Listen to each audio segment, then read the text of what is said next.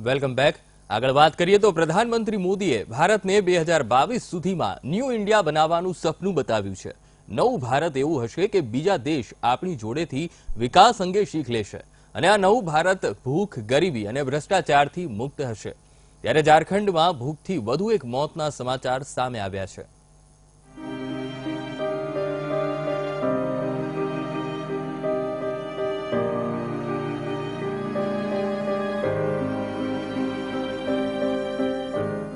ઝારખંડમાં વધુ એક ગરીબ ભૂખથી મોતને ભેટ્યો.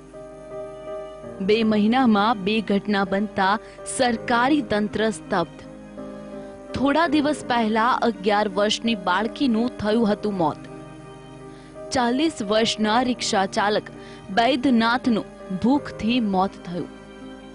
સરકારી યોજનાનો લાભ ન મળતા મોત થયાનો આક્ષેપ.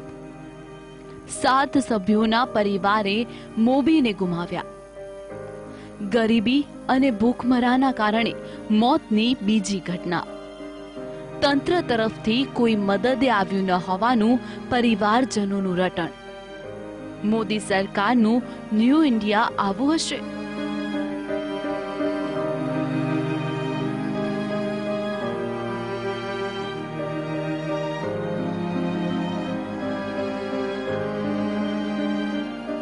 ધનબાદના ઝરિયામાં એક રિક્ષા ચાલકની ભૂખના કારણે મોત થયાના સમાચાર મળી રહ્યા છે.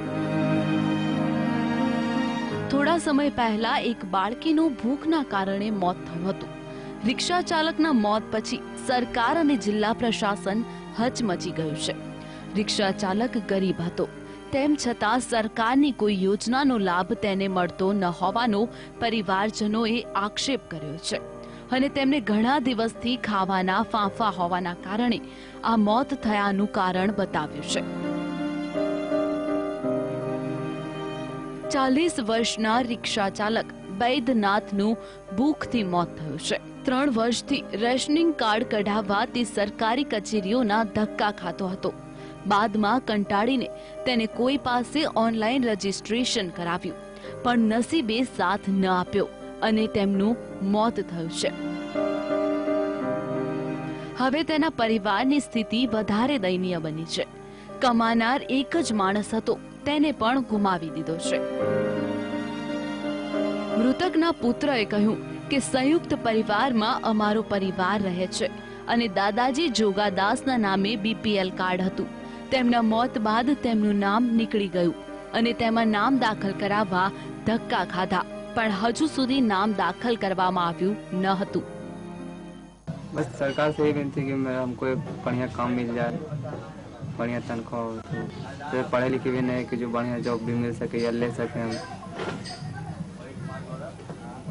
कोई अभी तक आया है आपसे मिलने के लिए अभी तक किसी तरह का कोई अधिकारी या धनबाद से कोई अभी सुबह से तो कोई नहीं आया બીપીએલ કાર્ડમાં નામ ન હોવાથી રેશન કાર્ડ ન મળ્યું સરકારી કચેરીના ધક્કા ખાઈને તબિયત બગાડ્યાનો આરોપ.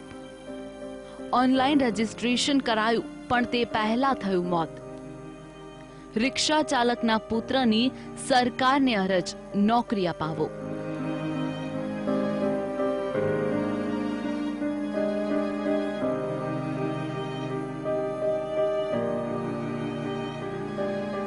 ધનબાદની સરકારી કચેરીના ધક્કા ખાધા. પણ બીપીએલમાં નામ દાખલ થયું નહીં અને રેશનિંગ કાર્ડ પણ બન્યું નહીં. તેના પુત્રે આરોપ લગાવ્યો કે જો ગરીબને મળતા લાભ અમને મળ્યા હોત, તો પિતાનું મોત ન થયું હોત. પરિવારના સાત સભ્યોમાં કમાનાર એક જ હતા. તેમના નિધન બાદ પરિવાર ચિંતાતુર બન્યો છે. हम लोग भूखा नहीं मरेंगे तो क्या करेंगे हम लोग के बच्चा पढ़ लिख के भी कुछ नहीं कर सकता है कची सिखा में पैसा रहेगा तो हम कुछ सिखा सकते हैं कोई कंपनी रहेगा तो हम बच्चा लोग खर्च सकता है आज लोग का कुछ नहीं है तो बच्चा लोग भी भूखा मर रहा है રિક્ષા ચાલક બૈદ્યનાથના મોત બાદ સમગ્ર જિલ્લામાં શોકનું મોજું ફરી વળ્યું હતું ત્યારે લોકોએ રોષે ભરાઈને કહ્યું કે સરકાર દ્વારા મોટી મોટી જાહેરાતો કરવામાં આવે છે અને અમલ કરવામાં આવતો નથી તો સરકાર જાહેરાતો પાછળનો ખર્ચ ઓછો કરી આવા જરૂરિયાતમંદ પરિવારો પાછળ ખર્ચ કરવામાં આવે.